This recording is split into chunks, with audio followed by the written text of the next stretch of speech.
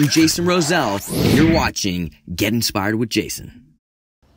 Today I'm going to give you the quickest, and I mean quickest breakfast or snack option if you're looking to lose weight, get in shape, or most importantly stay in shape if you already are, but you lack time. You just don't have the time or don't want to make anything for breakfast because you're running and don't have time to snack. How many times do we make excuses? Oh, I wish I could snack. Snacking is what is gonna cause you to burn more calories, speed up your metabolism. Super easy recipe, you ready? All you're gonna need is protein powder. I use Motivate chocolate cake, it's amazing. Second is you're gonna grab some yogurt. I use Carb Master. Why? It only has 70 calories. Make sure it's the vanilla flavor. And it has 9 grams of protein, only 1 gram of sugar. You're gonna put half a scoop of protein in your yogurt. I already put it in there, all right?